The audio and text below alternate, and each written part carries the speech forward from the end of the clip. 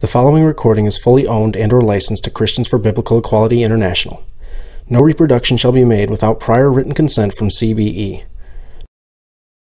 Originally, when I was asked to speak, the, the topic of the conference was Be Transformed by the Renewing of Your Minds from Romans 12.2.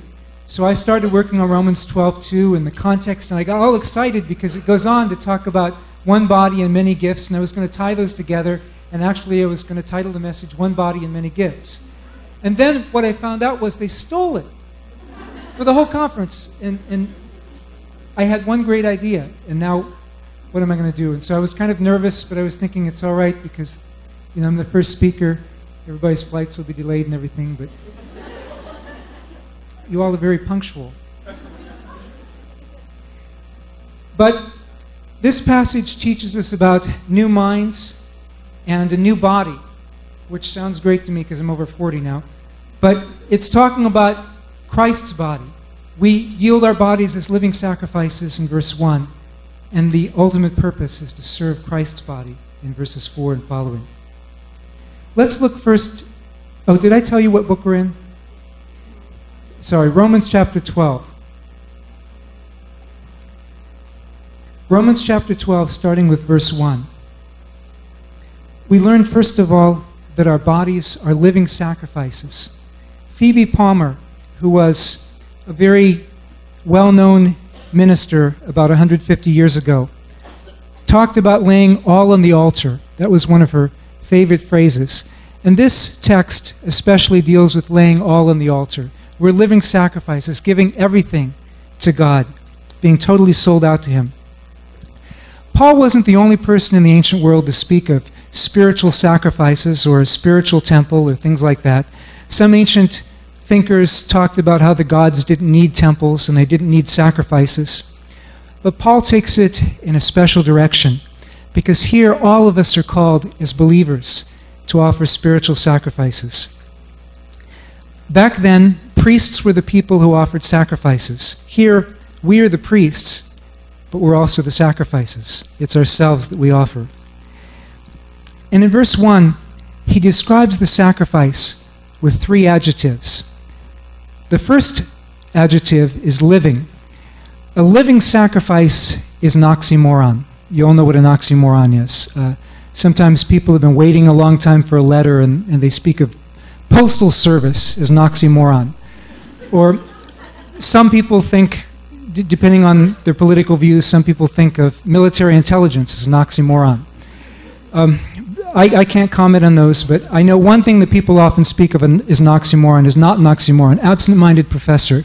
We professors are absolutely not absent minded. Uh, I forgot, what was I talking about? Uh, anyway, living sacrifice. Sacrifices are by definition supposed to be dead. But in our whole lives, we're continually yielding ourselves up to God and to God's purposes for our lives. Gives another adjective describing this sacrifice in verse, in verse 1. The sacrifice is supposed to be living, holy, and acceptable. The Old Testament often spoke about holy offerings, offerings that were holy to the Lord. What that means is completely devoted to the Lord. One definition that I think in some ways describes holiness better than anything else is loving God so much that nothing else matters by comparison with God. We're so set apart to God, so devoted to God, that nothing can compare with Him. Sometimes we think that we can do things in our own power, by our own strength. Sometimes some people may think that the egalitarian movement, you know, the culture is going a certain way and that'll be enough to make it. But that's not true. Especially for evangelical egalitarians, the culture is not going our way. But God's Spirit is what makes the difference. I'm really grateful that some years ago Mimi was organizing prayer meetings for biblical equality because it's only God's Spirit. It's when God pours out His Spirit on His sons and daughters that He raises up the gifts in the body of Christ.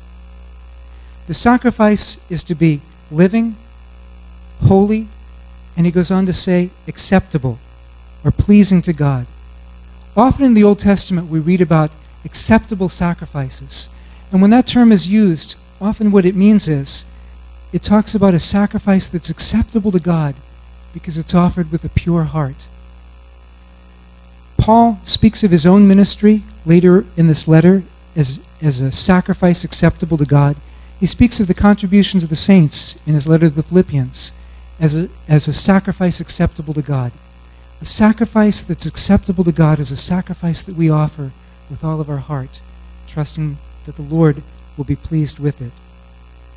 But he says something else about this sacrifice in verse 1. He tells us that the sacrifice is living, holy, and acceptable. And then he says it's your rational service of worship. Some of your translations may say your spiritual service of worship. The King James actually got this one right. The, the reasonable service, it says, the, the Greek word there is a word that means rational. It has to do with your minds. It's the renewed mind that he's about to describe in more detail in verse 2 that teaches us how we can use our bodies in ways that are living, holy, and acceptable to the Lord. We have to have a new mind. And by the time Paul's hearers in Rome would get to chapter 12, they already have some idea where he's going with this because back in chapter 8, he contrasted two kinds of mind. He spoke of the mind of the flesh versus the mind of the spirit. That is, a selfish mind, which he says can't please God, it can't be acceptable to God, as opposed to the mind of the spirit, with God's own word written inside of us. The mind of the spirit means that we think Christ's way. We let the same mind be in us which was in Christ, mind of service, mind of caring for others. We think the Spirit's way. The Spirit gives us a new way to think. Verse 2 develops what this means, tells us about the renewed minds, how renewed minds think. Now, again, there were many other people who said something similar to what Paul says here, although um, they left out the most important part about Christ. But many ancient philosophers spoke about having a heavenly perspective, having a mind set on heavenly things, by which they meant not being self centered, but being truth centered, being able to, to have a cosmic perspective on what's right and what's wrong. For us, being truth centered means especially being Christ centered. As Paul says in another place, that we are to set our mind on things above, where Christ sits at the right hand of God. When he tells us what the renewed mind is supposed to think like, he says, Don't be conformed to this world, but rather be transformed by the renewing of your mind. The renewed mind doesn't think the way the world thinks. The world thinks in self centered ways how to serve ourselves. The kingdom way is to think about everything for God's will, God's purposes, building up Christ's body to reach the world, being sold out to God so that we can do everything for God's purposes. Sometimes that's difficult for many Christians in North America Many Christians in North America spend more time in television and entertainment and immersing ourselves with the values of the world than we actually spend immersing ourselves in God's Word. And then it's not surprising that statistics show that we often end up acting just the way the world does. Often, too, we're tempted to depend on the same things the world around us does. In North American Christianity, it's very common to depend on technology, money, sometimes political power to achieve our ends. Now, keep in mind, I'm not against technology or money or political power. I, I, uh, I'm using technology right now, and if any of you has any money you want to give me, I, I won't complain. But the context here tells us what we really need to depend on. It comes by God's gifts. It comes by depending on God's grace. It's what God does through us that makes a difference, and not our own strength or our own abilities. Not being conformed to the world means not being pressed into the world's mold. The world seeks to define us in their categories. The world seeks to define who we are, and we have to be defined instead by who we are in Christ. In the egalitarian movement, we get uh, egalitarian evangelical movement, we get critics from the right and the left, and probably the front and the back too. I guess we won't get any from the back today, but um, we get critics all around. But not being like the world, being like Christ, means that we don't respond in kind. I have a temptation where I tend to worry too much what other people think of me. But we need to let God set the agendas. let God define who we are and what our mission is. Maria Woodworth Etter, uh, a major evangelist in the late 19th and early 20th century, and Aimee Semple McPherson, a megachurch pastor in the 1920s to the 1940s. And many other people have discovered this principle that when negative publicity is the only free publicity you, you can get, and you can't afford to pay for any, it can be useful. But we need to not depend on the world's values. We need to not depend on the world's ways of acting. We need to think like Christ thought. We need to follow the example that he gives us. And he goes on to talk about how we can know God's will. He gives three adjectives that define God's will. The renewed mind helps us to recognize what God's will is. As a young Christian, I was really mystical, trying to, trying to find God's will, trying to be led by the Spirit, and I still believe in that. But over time, I learned that there are also other ways that the Lord leads us. Sometimes the Lord leads us by showing us what's right, and this passage gives us some indications of, of what's right, what God's will is, with three adjectives describing the will of God, so that your renewed mind can recognize it. First of all, the will of God is that which is good. Paul has already used this phrase over 10 times in his letter to the Romans. So, his will being good uh, is a moral criterion. Whatever is morally good is his will. Secondly, whatever is acceptable or pleasing. It's the same word that he used in verse 1. We want to be an acceptable sacrifice to the Lord. We want to be pleasing to the Lord. Then we also need to discern what is acceptable in his sight. If it's something that we know will please him, that's his will. And third, perfect. Ancient thinkers used these three criteria, as well as others, as ethical criteria to try to discern what was best to do. Paul uses them as, as one tool for discerning God's will for how we can serve God fruitfully, to show us how we can use our body in God's service, as he mentioned in verse 1. But how does the renewed mind think? Is Paul just going to speak in generalities? In verse 3, he gives us a concrete expression of how the renewed mind thinks. The renewed mind thinks, in verse 3, by considering how each of us can serve God's purposes, not thinking of ourselves more highly than we ought to, not thinking too little of ourselves either. David served God's purposes in his generation, it says in Acts 13:36, and then he fell asleep. We shouldn't think too highly of ourselves because the kingdom doesn't rise or fall on any one of us. We have our place, we fulfill our purpose, and God raises up others to carry on his work a few weeks ago, I was feeling overwhelmed with work, and I talked with my, my pastor because I knew he had a whole lot more work than I do with 6,000 members in the congregation. And he told me a little secret that I needed to just slow down and rest, or otherwise they would be doing one of their Thursday morning services for us. That's when we most often conduct funerals. and that uh, Palmer Seminary would then hire another New Testament professor who writes books, and life would go on. So I tried to rest uh, a few more minutes that week. We shouldn't think of ourselves too highly. We also shouldn't think of ourselves too little, because one person with a vision can be a catalyst for her generation. Think of the Apostle Paul. Think of the difference that Paul made in the world in his generation. Think of Paul's stand against against requiring circumcision for Gentiles. Now, there were probably other people who shared Paul's views, but it was Paul who was able to make the intellectual arguments and carry the weight in his generation. And I, for one, am very grateful that he won the argument. For some of you women, that may not be as meaningful, but for most of us here who are men, very glad that Paul won that argument. But also, there are many examples through church history St. Francis and St. Clare of Assisi made a difference in their generation. Adoniram Judson and his, uh, his three wives, uh, he didn't have them all at once. These were uh, high mortality on the mission field. Hudson and Maria Taylor, William and Catherine Booth, the founders of the Salvation Army, and so on. You think of Hannah, who was praying for a son.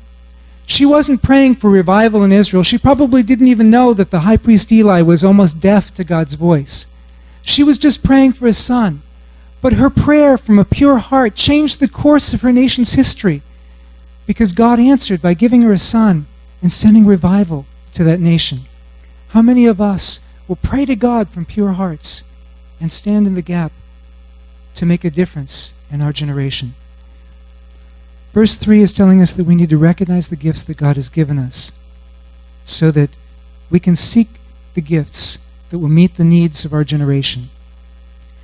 Some gifts God has already put in us, um, but also he goes on to speak of, of the needs of the body of Christ. And so sometimes you can seek for gifts that will meet those needs. When you see the needs, God, please, somebody needs to do this. And quite often when you pray that, you'll, you'll find out that God will use you with the gift. Uh, I, was, I was having that experience years ago when I was praying for, for God to lay on some people's hearts to, uh, to write this particular book. And I was very busy doing other things. And then the Lord laid it on my heart to, to, uh, to write that book. And I had to go do a bunch of extra research and was almost sorry I prayed it at the beginning. But in the end, I was, I was grateful. Uh, it's those who prayed for laborers for the harvest in the Gospels that saw God raise up laborers for the harvest. Verses 4 through 6 Our bodies can serve His body. Again, Paul wasn't the only person, certainly wasn't the first person, to speak of one body with many members. Many philosophers of his day, they spoke of the universe as a body, uh, and they spoke of, of everything in the universe as members more importantly, they spoke of, of a community of people, the state as a body, and all the people in it were many members. But Paul applies it to a living organism of a group of people who are committed to God's will and God, God working and speaking through us as a body with many members. The first person that we know of to use this example of one body with many members was Menenius Agrippa. And Menenius Agrippa didn't use it at all the way Paul did. Um, the plebeians, they were the poorer people of Rome, they were complaining that the richer people of Rome, the patricians, were, were taking all the resources and consuming all the resources while the plebeians did all the work. So Menenius Agrippa came along and he said, You know, you shouldn't feel badly because it's just like a stomach. You know, we're one body with many members, and the stomach doesn't look like it's doing all the work, but you need the stomach to consume the food. Well, that's what we patricians do. You know, you plebeians do the work, and we consume the food. And the way the story goes, they bought it. I, I, I don't know uh, why, that, why that would have worked, but in any case, Paul uses it in a very different way. He adapts it so that we are one body with many members, but each of us is special. Each of us has a gift. Each of us has a purpose. I remember one time I was in worship at a, at a place where the worship was just so exuberant and lively, and my worship style was a little bit different than the worship style there. And I was, I was feeling like, God, my, I'm not very good at this. And I suddenly felt the Spirit speak to me that I was created unique and special and that I was the only one who could give God the glory that, Craig, that God created Craig Keener to give him. And each one of us, we may feel weak in our most honest moments. We may know what we're made out of, that we're just made out of dust and ashes. But everybody in the Bible was made out of just dust and ashes too. God used them, and God will use us. Not because we're made out of something so special, but God will use us because it pleases Him to use us. Because each of us is special in His sight, each of us is gifted in His sight, and, and each of us offers Him the worship that He desires. I'm going to uh, tell a story about bringing different gifts later on at the end. But first, I want to look at examples of the gifts in verses 6 through 8. Paul gives a different list of gifts in 1 Corinthians 12 gives a different list and kind of a different context in Ephesians 4. But in all these passages where he gives examples of spiritual gifts. In each case, the emphasis is on God's grace. It's a gift that comes from God. It's not something that we did, it's not something that we earned.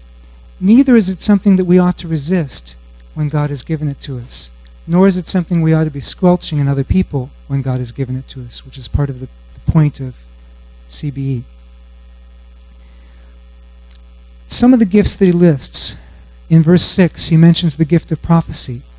Now, this is the most common ministry role in the Bible. It's not the most commonly mentioned in the New Testament, but you take the whole Bible together, it's the most commonly mentioned ministry of the Word role in the Bible. Paul ranks it second only to apostleship in 1 Corinthians 12:28. Was this gift distributed on the basis of gender? 1 Corinthians chapter 11, Paul clearly speaks of women prophesying in the congregations that he started. And Paul could hardly do otherwise because it's something characteristic throughout the Bible. We have Miriam, Deborah, Huldah. In fact, Deborah was a judge over all of Israel as well as a prophetess. We have Isaiah's wife in Isaiah chapter 8 and a number of other people. In the New Testament, we have Anna in Luke chapter 2. We have the four young daughters of Philip the evangelist in Acts chapter 21. And we have the statement that where God pours out his Spirit, he'll pour out his Spirit on all flesh. His sons and daughters will prophesy. That there won't be anything that can stop God's working, whether it's through male or female, because God gives gifts regardless of gender. We also see in verse 7 another gift serving or ministering. The term that Paul uses here is one of his most common terms for his fellow ministers. It's a term that is used for Paul himself twice in this letter. It's a term that's used for Jesus in his ministry also later on in this letter. But a related term is used in Romans chapter 16 and verse 1 for Phoebe, a woman. So again, we see that this gift is not distributed according to gender. In verse 8, whoever leads. Leadership in the early church was based on gifts and not based on hierarchy. We see some examples of leadership again in Romans chapter 16. Phoebe, Priscilla, who with Aquila led a house church, Junia and Andronicus, um, who are called notable apostles. Again, leadership is not a gift that's distributed based on gender. On May 27th, 1860, Catherine Booth gave her first sermon. Now, um, for those of you who may have heard that this emphasis on women's ministry started in the 60s, here is somebody from the 60s, uh, the very beginning of the 60s, but this was the 1860s.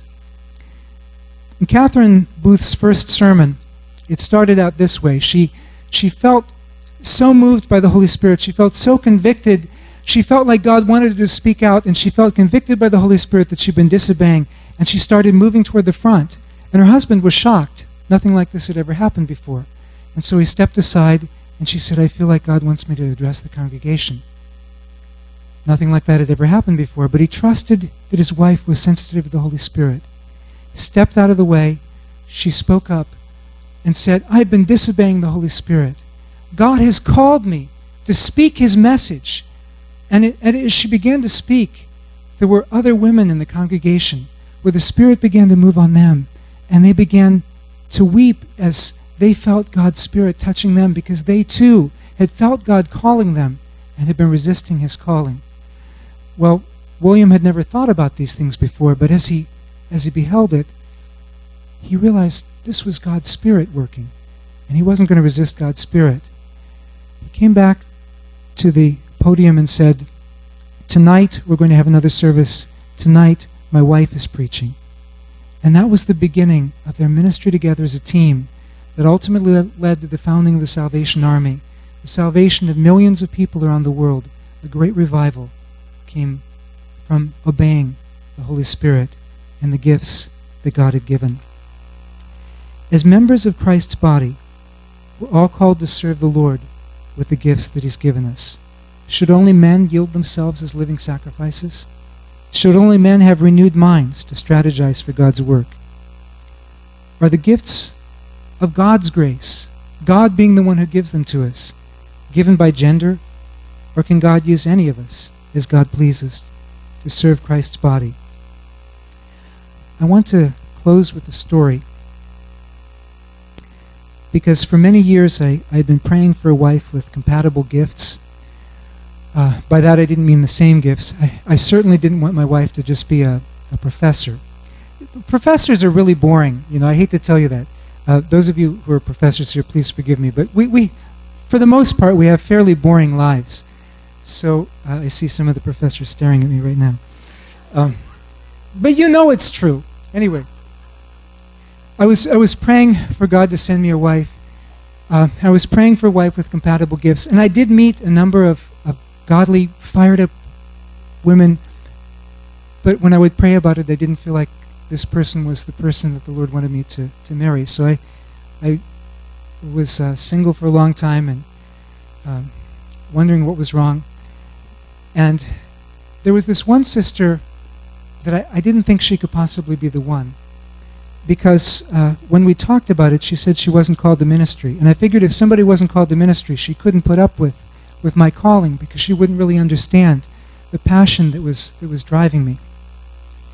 Um, we had met, actually, she was an exchange student at Duke University from 1989 to 1990. She was doing research on American history for her PhD at the University of Paris.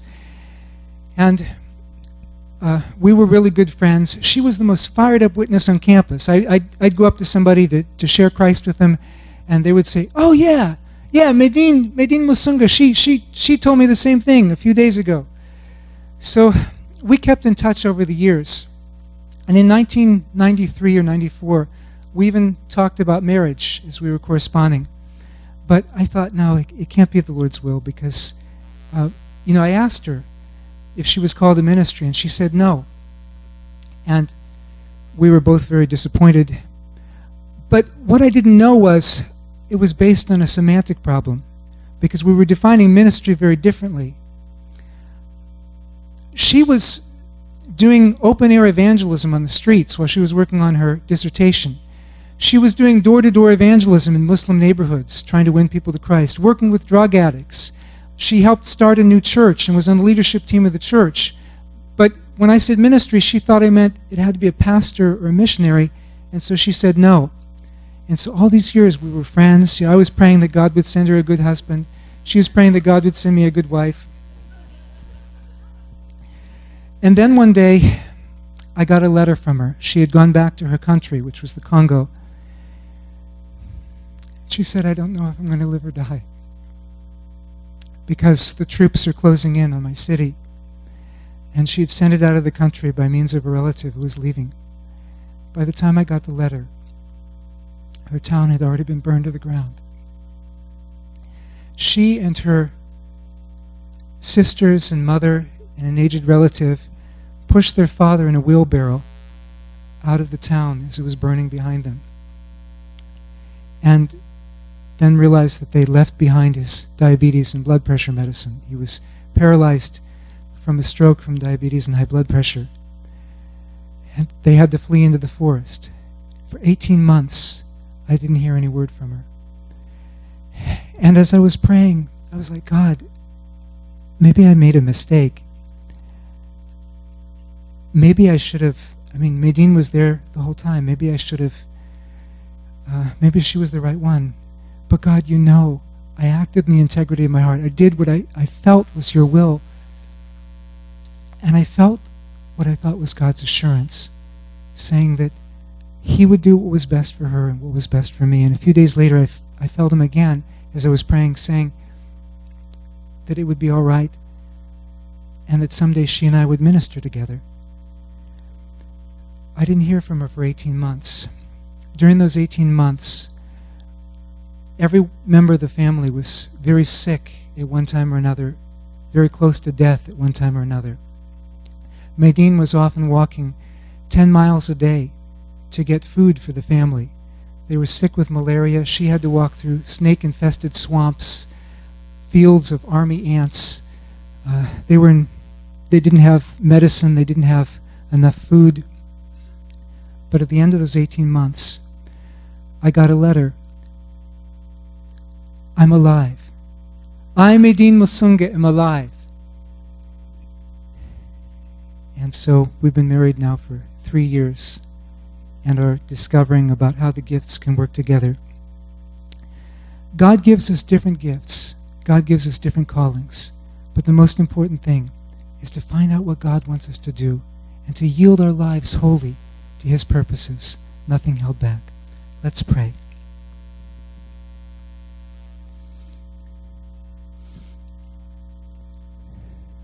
Sovereign Lord,